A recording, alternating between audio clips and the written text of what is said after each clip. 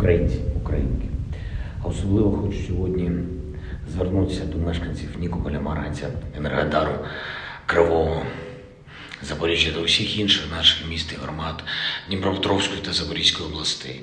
Окупанти намагаються надзвичайно цинічно залякувати людей, використовуючи Запорізьку атомну станцію. Вони фактично прикриваються станцією, щоб обстрілювати Нікополь і Марганець. Вони влаштовують постійні провокації з обстрілами території атомки і намагаються нагнати на цей напрямок додаткові свої сили, щоб ще більше шантажувати нашу державу і увесь вільний світ. Якщо хтось там в Росії думає, що їм це щось може дати, то вони помиляються.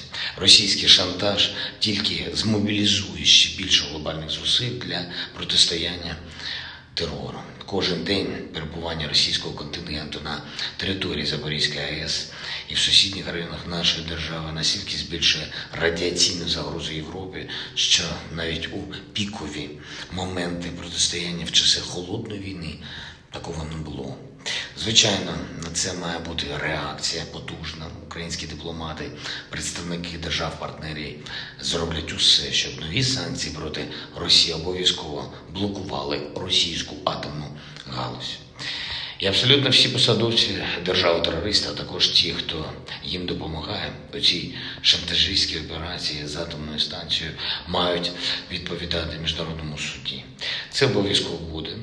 А кожен російський військовий, який або стріляє по станції, або стріляє, прикриваючись цією станцією, повинен розуміти, що стає особливою мішенню для нашої розвідки, для наших спецслужб, для нашої армії.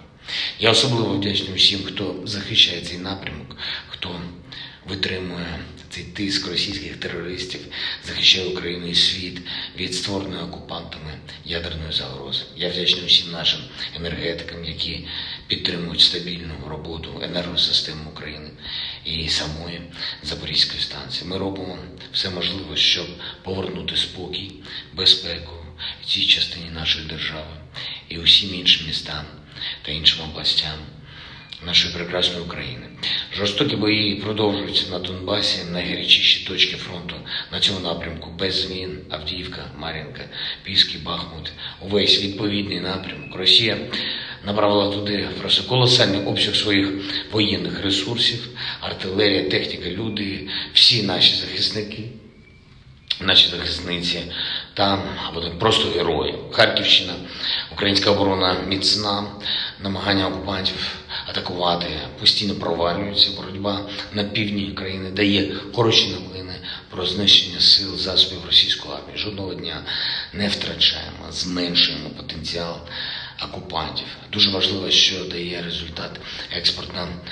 Зернова ініціатива спочатку її реалізації з українських портів загалом вийшло вже 16 суден із зерном для семи країн на трьох континентах: це Європа, Азія, Африка. На борту майже півмільйони тонн агропродукції, кукурудза, пшениця, сонячна когалія, сої та інші товари абсолютно необхідні світовому ринку. Це вже дозволило знизити гостроту продовольчої кризи, дало певну надію на спокій країнам-споживачам нашої агропродукції. Ну і в перспективі може дозволити повністю зняти продовольчу кризу з глобального порядку денного. Звичайно, звичайно, якщо партнери забезпечать виконання безпекової частини ініціативи і не допустять російських провокацій і терору на морі.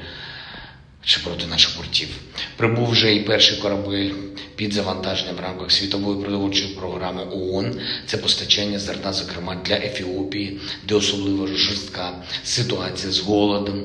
Зараз судно готується на відправку спорту південний для України. Це помітну користь. За неповних два тижні з трьох наших портів Одеса, Чорноморськ та Південний вдалося експортувати такий обсяг, який дорівнює усьому аграрному експорту автотранспортом за липень, і більш ніж двом третинам експорту залізницею за минулий місяць.